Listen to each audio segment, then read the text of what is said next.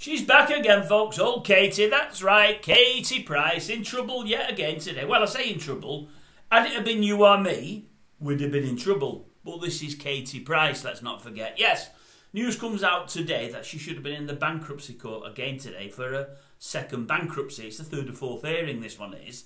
And when you're in bankruptcy court, you're supposed to turn up to listen to all that said about you and to answer any questions that the judge may level at you. Anyway, Katie never bothered yet again. It turns out she misses these uh, meetings on a regular basis.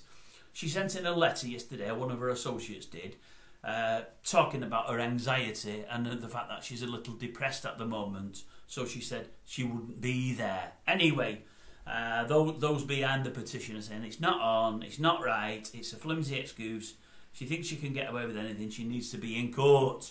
And the judge has agreed. He said, yes, it is a flimsy excuse. I do feel sorry for all those that have mental health issues and depression, but we can't have this every time there's a hearing, and we can't have it 24 hours beforehand.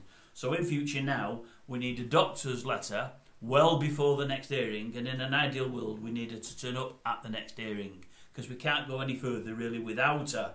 And if we don't get these, then we've got to look at having her arrested and doing time. And I thought, well, that long last, but as I said, you know it's never going to happen. She's going to get away with it, get away with it, get away with it. She walks on water, that girl does.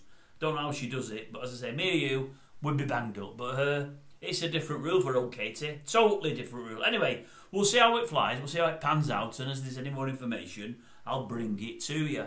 I'd love her not to turn up at the next one and get arrested and do three months inside. I really would. I'd love that. She said she doesn't mind it and she's looking forward to it. She can write a book. Well, let her. Let her write a book on, uh, uh, you know, on on uh, Her Majesty's time. Well, His Majesty now, isn't it? Yes, His Majesty's time. That'll do for me. That would. I'll tell you that now.